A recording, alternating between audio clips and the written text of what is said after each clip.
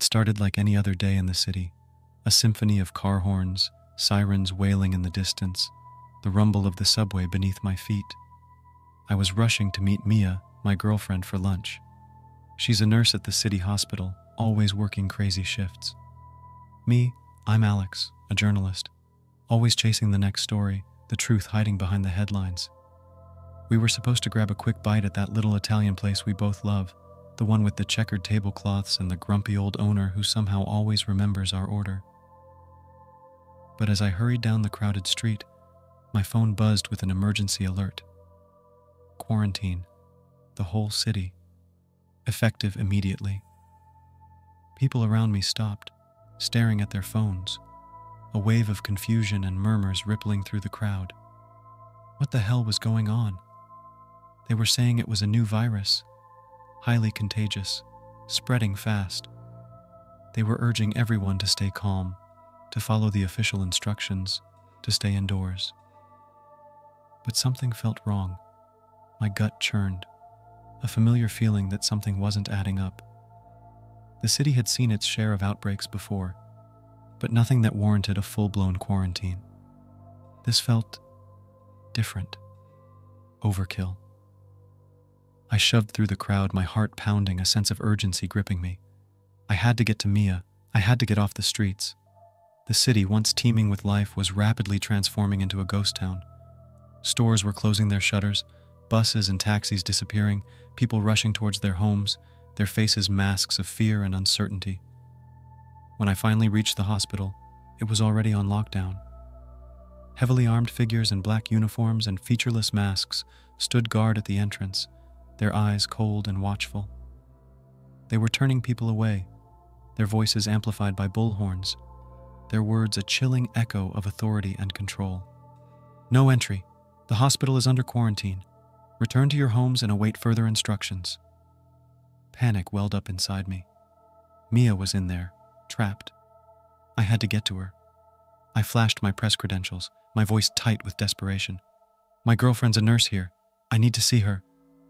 The guard, his face hidden behind a mirrored visor, shook his head. No exceptions. Stand back or you'll be detained.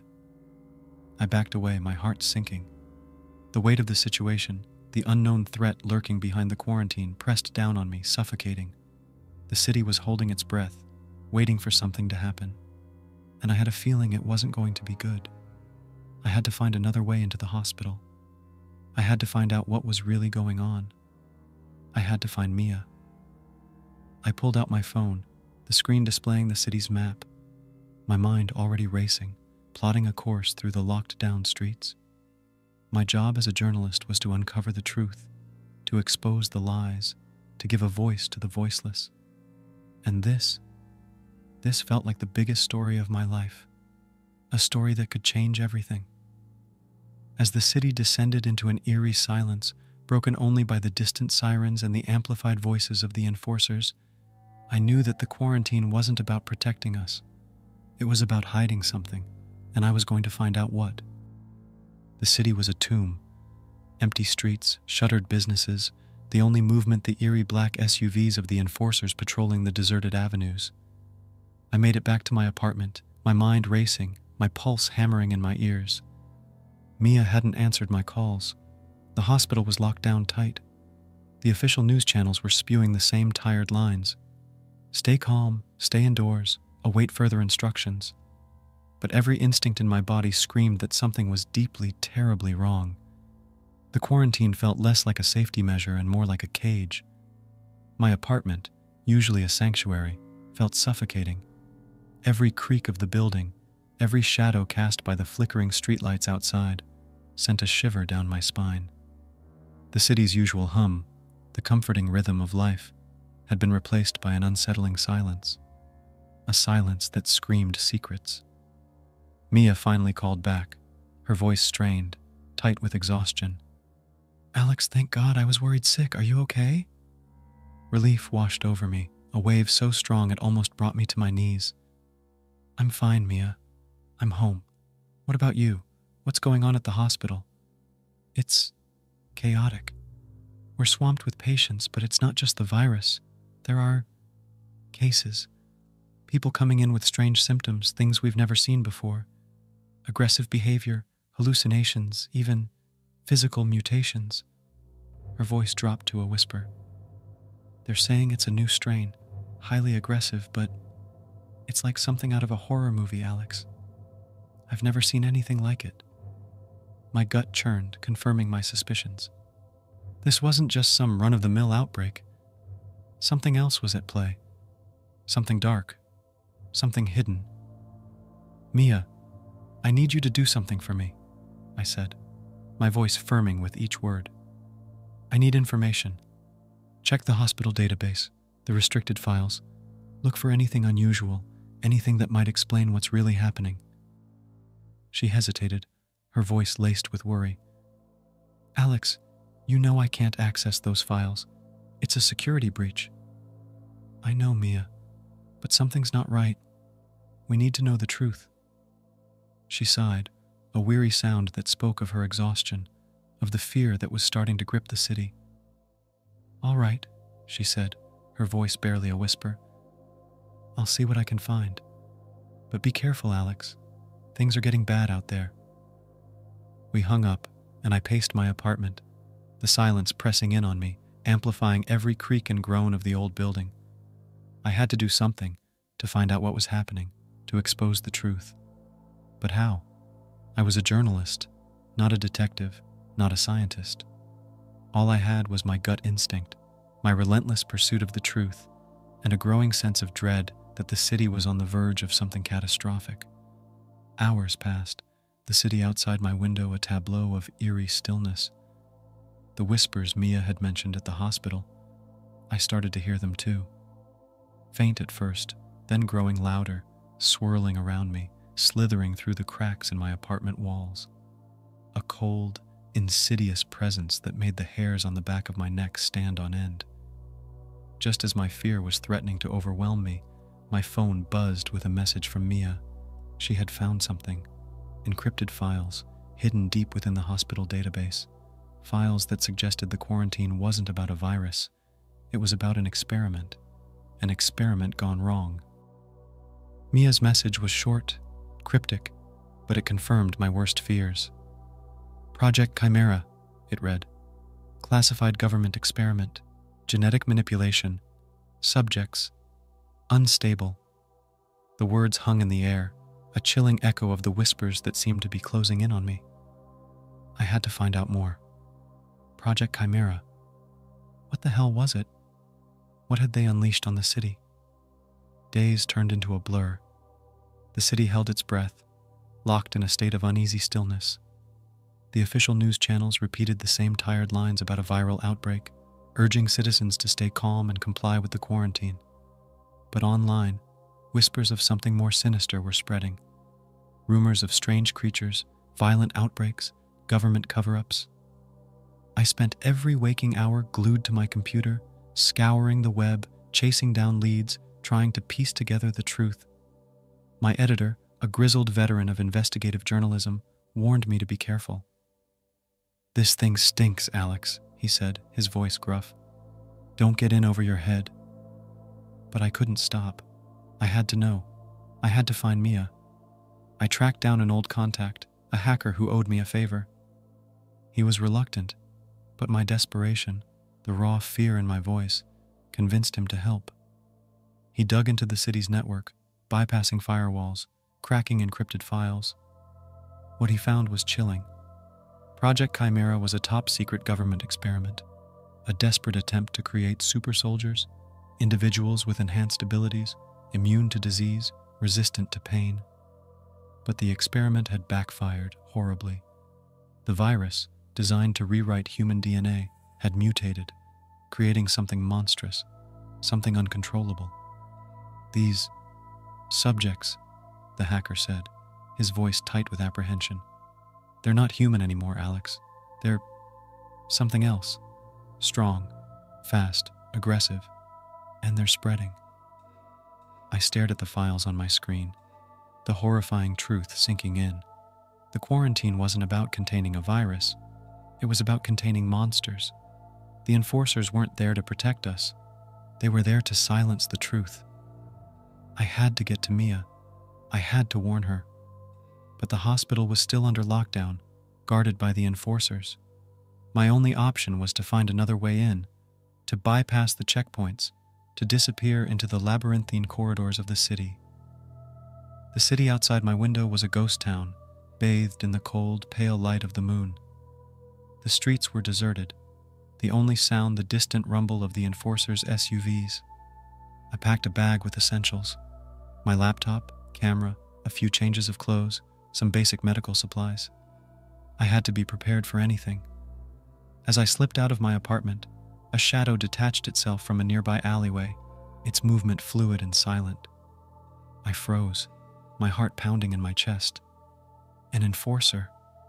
He stood there, his face hidden behind a mirrored visor, his body clad in black tactical gear, a rifle slung across his shoulder. He didn't speak, just stared at me, his presence a chilling reminder of the control that had gripped the city. I slowly backed away, my gaze fixed on him, my hand reaching for the pepper spray in my pocket. He didn't move, his silence more menacing than any threat. Then, as quickly as he had appeared, he melted back into the shadows, leaving me trembling in the cold, empty street. I had to be careful. The enforcers were everywhere, their eyes watching, their ears listening. I was playing a dangerous game, a game where the stakes were life or death. But I had to keep moving. I had to find Mia. I had to expose the truth. I slipped into the shadows, my heart pounding, the city's silence a deafening roar in my ears. The quarantine had unleashed something monstrous, something far beyond our control, and the truth, once unleashed, would change everything. The city was a maze of shadows and fear. I navigated the deserted streets, sticking to the back alleys, my heart pounding with every rustle of wind, every flicker of movement in the darkness. The city, once so familiar, now felt alien, hostile. My phone was dead, my only link to Mia, the encrypted messaging app we used. I had to get to the hospital, had to find out if she was safe, had to warn her about Project Chimera. The enforcers were everywhere, their black SUVs like predatory beasts circling their prey. Their checkpoints were impossible to bypass, the guards armed to the teeth, their faces masked, their voices cold and emotionless. I was forced to take detours, to navigate the rooftops, to disappear into the underground tunnels, my sense of direction fraying with each passing hour. The further I ventured into the heart of the city, the more I realized the true scale of the nightmare. There were rumors, whispered tales of the infected, of people changing, becoming something monstrous. I dismissed it as fear mongering, the product of a city on edge. But now, as I saw firsthand the desperate measures, the brutal efficiency of the enforcers, I knew the rumors were true. I saw an enforcer squad dragging a struggling figure into their SUV, the man's screams muffled by a thick cloth gag, his eyes wide with terror. He was young, barely more than a kid, his clothes torn, his skin covered in a network of dark pulsing veins. They slammed the SUV door shut, the sound echoing in the desolate street, and sped away, leaving behind a lingering sense of dread. I knew then that the quarantine wasn't about containing a virus. It was about containing a nightmare. A nightmare that was spreading, mutating, consuming everything in its path. I finally reached the hospital, its towering structure a beacon of hope in the oppressive darkness. But the hope was quickly extinguished.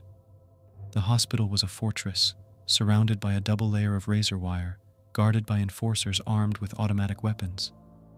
There was no way in not without risking my life. But then, as I crouched in the shadows across the street, observing the checkpoint, a flicker of movement caught my eye.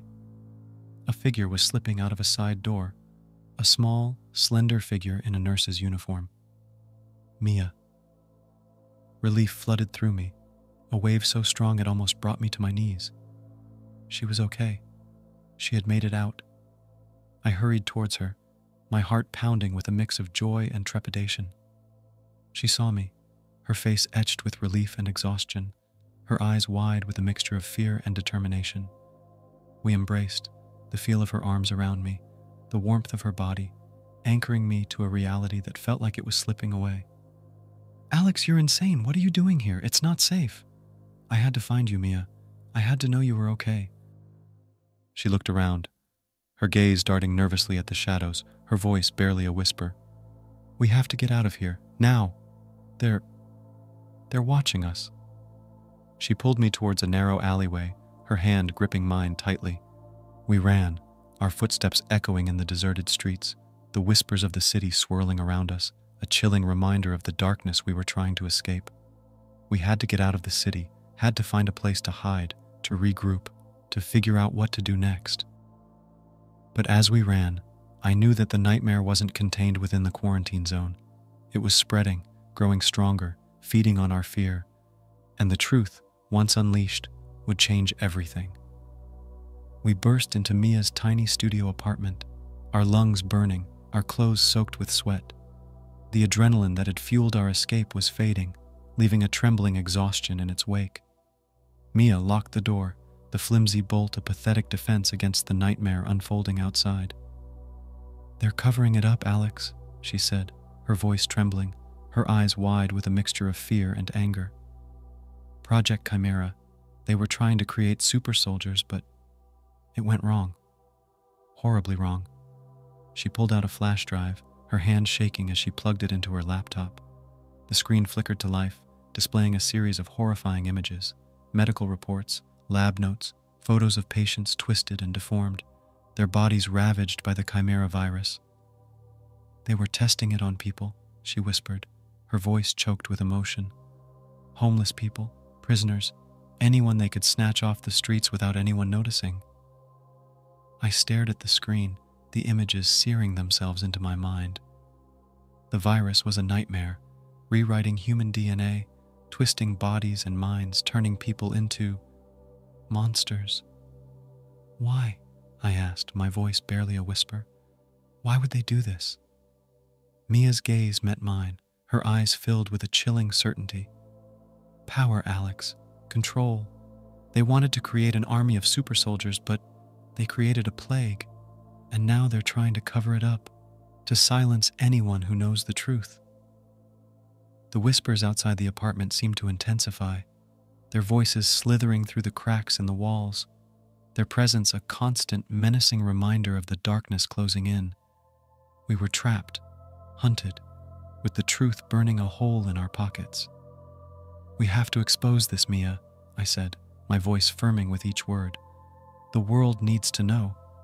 She nodded, her gaze fixed on the laptop screen, her fingers flying across the keyboard as she downloaded the files, copied them, backed them up, a digital lifeline against the encroaching darkness. I know someone, she said, her voice barely a whisper. A journalist, works for an independent news agency. He's been investigating the quarantine, digging for the truth. She met my gaze, her eyes filled with a desperate hope. We have to get to him, Alex. He can help us expose this. He can get the word out. But how? The city was locked down, the enforcers everywhere, their eyes watching, their ears listening. We were trapped in a cage of our own making, the truth a dangerous weapon in a world gone mad. Suddenly, a pounding on the door shattered the silence. We froze, our hearts hammering in our chests, our breath catching in our throats. The enforcers, they had found us. Open up! Emergency response team! A voice barked from behind the door. The doorknob rattled, the flimsy bolt straining against the force of their entry. We had to escape. Now. Mia grabbed my hand, her eyes wide with panic. This way, she whispered, pulling me towards a small window at the back of the apartment. It leads to the fire escape. We scrambled through the window, the cold night air stinging our faces, the city lights a dizzying blur below us. We climbed down the fire escape, our hearts pounding, our lungs burning the whispers of the city chasing us, their voices filled with a chilling promise of oblivion. We had to get to the journalist, to expose the truth, to warn the world. But Dr. Pierce and his enforcers were closing in, determined to silence us, to bury the truth beneath a mountain of lies and fear. The city was a battleground, and we were caught in the crossfire, fighting for our lives, fighting for the truth. The alley was a labyrinth of shadows and trash, the stench of decay thick in the air. We scrambled over overflowing dumpsters, ducking under fire escapes, our footsteps echoing in the oppressive silence. Behind us, we could hear the heavy thud of boots on pavement, the harsh voices of the enforcers, their presence a chilling reminder of the danger closing in. This way, Mia whispered, her voice a ragged gasp. She pulled me towards a fire escape ladder, her hand cold and clammy in mine. We climbed, our muscles screaming, our lungs burning, the adrenaline pushing us forward. We reached the rooftop, the city spread out before us like a vast, dark ocean. The whispers were louder up here, swirling around us, their voices a chorus of fear and madness, their presence a palpable chill in the night air. We had to get to Ren, the journalist Mia knew. He was our only hope, our only chance to expose the truth about Project Chimera. But how? The city was a maze and we were being hunted. Mia pulled out her phone, its screen cracked but still functional. Ren's place is just a few blocks from here, she said, her voice tight with urgency. But we can't risk the streets. We need to stay above ground. We navigated the rooftops, a perilous dance across crumbling brick and treacherous fire escapes. The whispers followed us, their voices growing louder, their presence more menacing. We could feel the entity's power growing, feeding on the fear and chaos spreading through the city. We saw them, the infected, lurking in the shadows, their bodies twisted and deformed, their eyes burning with an unholy light. They were no longer human, just monstrous shells driven by a primal hunger, a lust for destruction. We had to keep moving. Time was running out. The city was on the brink of collapse, and the truth, the horrifying truth about Project Chimera, was the only weapon we had left. We finally reached Ren's building, a crumbling apartment block in a forgotten corner of the city. We climbed down the fire escape, our bodies aching, our minds reeling from the constant fear and adrenaline. Mia pounded on Ren's door, her fists thudding against the wood. Ren, it's Mia, open up! The door creaked open, a chain lock still in place. A weary face appeared in the narrow opening, his eyes bloodshot, his hair a mess. Mia, what the hell are you doing here? It's not safe. We have to talk, Ren. It's about the quarantine. It's. It's not what they're saying. He hesitated, his gaze darting nervously at the shadows. What are you talking about? Project Chimera, Mia said, her voice barely a whisper. It's an experiment, a virus. They're turning people into monsters. Ren's eyes widened, his expression a mixture of disbelief and horror. He unlocked the chain, pulling us inside, the door closing behind us with a reassuring thud. We were safe, for now. We told him everything the encrypted files from the hospital, the horrifying truth about Project Chimera, our encounter with the infected, the enforcer's relentless pursuit. He listened intently, his journalistic instincts kicking in, his mind already racing, piecing together the story, seeing the bigger picture. This is huge, Mia, he said, his voice a low murmur. This could. this could bring the whole system down. He turned to me, his eyes filled with a grim determination. We have to get this out there, Alex. The world needs to know. But how? The official channels were controlled, the mainstream media silenced the internet swarming with government propaganda and disinformation. We were just three people, facing a vast and powerful conspiracy, a nightmare that was spreading, consuming everything in its path. I have a plan, Ren said, his voice firming with each word. It's risky, but it's our only chance. We'll use the dark web, anonymous servers, encrypted channels. We'll bypass their firewalls, get the truth out there, bit by bit, until it's too big to ignore, too dangerous to contain. We had a weapon against the darkness, the truth, but we were fighting a desperate battle, a battle against time, against a powerful enemy who was determined to silence us, to bury the truth beneath a mountain of lies and fear. The city was holding its breath, waiting for the storm to break, and we were about to unleash it.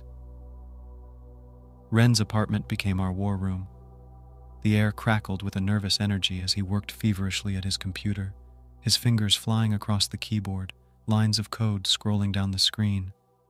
Mia, her face pale but her resolve unwavering, helped him craft the message, the horrifying truth of Project Chimera taking shape in the digital ether.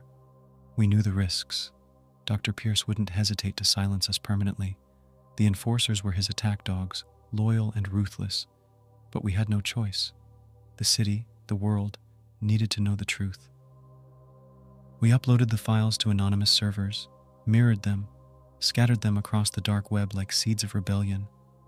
We contacted other independent journalists, whistleblowers, anyone who would listen. The whispers of the city, once a source of fear, were now becoming a chorus of dissent, of anger, of a dawning realization that the quarantine was a lie, a monstrous deception. The city, once shrouded in an eerie silence, began to stir. Protests erupted, fueled by fear and anger. People took to the streets, their voices rising above the amplified pronouncements of the enforcers, demanding answers, demanding the truth. The official narrative crumbled. The carefully constructed facade of control shattered. The whispers of Project Chimera became a roar, echoing through the city, spreading across the globe via social media, independent news outlets, and underground networks. The world was waking up to the nightmare. Dr. Pierce and his team vanished, their whereabouts unknown, their faces plastered across wanted posters, their names synonymous with betrayal and horror.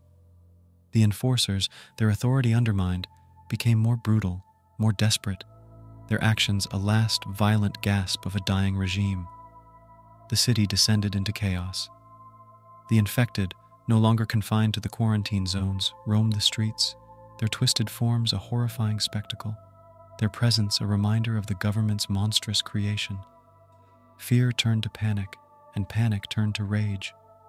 The city was burning, consumed by the flames of a truth that could no longer be contained. Mia and I, our faces now familiar from Ren's expose, became targets. We fled from safe house to safe house, aided by a network of allies who believed in the truth, who were willing to fight for justice.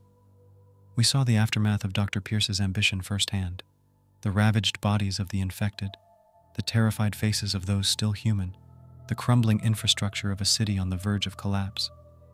The quarantine, designed to hide the truth, had only delayed the inevitable. The nightmare had been unleashed, and there was no turning back. In the end, the government was forced to acknowledge Project Chimera, to admit their involvement in the experiment gone wrong. But their apologies felt hollow, their promises of containment empty.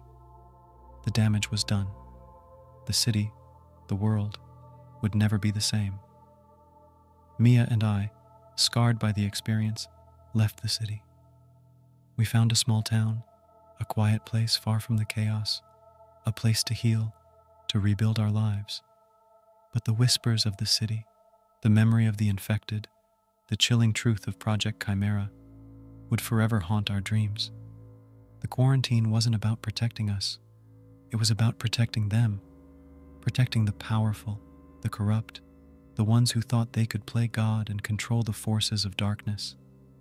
But the darkness always finds a way out and the truth, once unleashed, can never be contained.